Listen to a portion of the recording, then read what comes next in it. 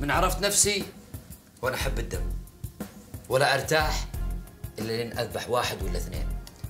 لكن معاكم أنتم ما قدرت أتعامل معكم مثل أي ضحية من هالضحايا. عارفين ليش؟ لأنكم مبزرة.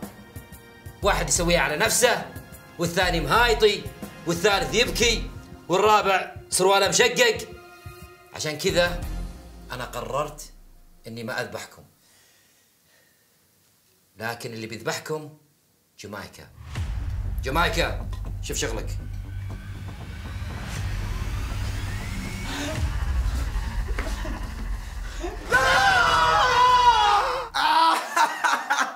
ضحكت عليكم مقلبتكم من الاستراحة.